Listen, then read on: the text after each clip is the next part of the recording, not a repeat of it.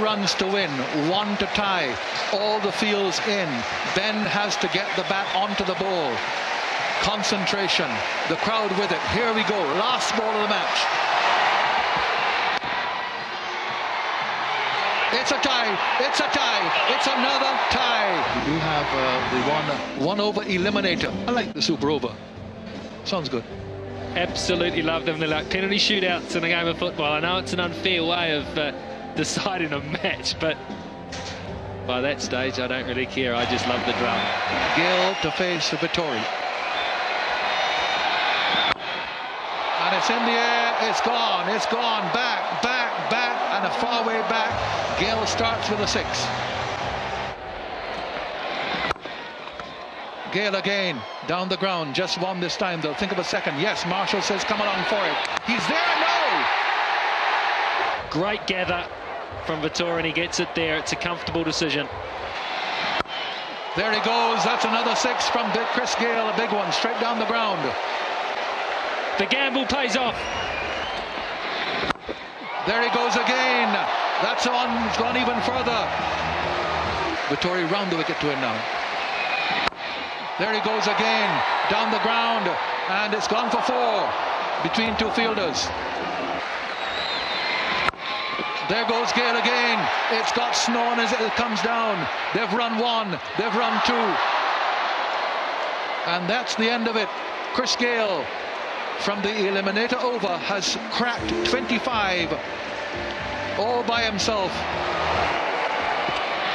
26 to win.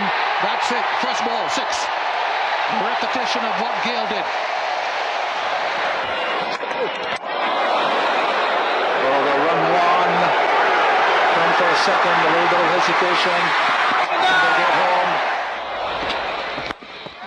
In the air, is that another six? It's going to be a catch.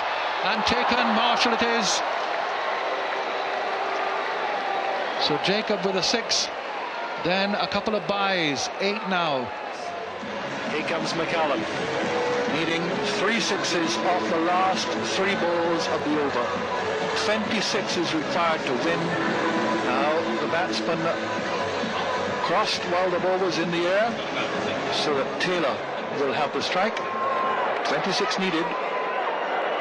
Well, 18 and three. Simple one there, isn't it? Got to go for six unless it's a no ball seen uh, Chris Gayle say to Sulieman Benn what Frank Worrell said to Wes Hall in the last over of the tie test, do not bowl a no ball. in the air, the boundary, and gone! There has to be eight. It's gone for six. Now, was it too high? Was this too high?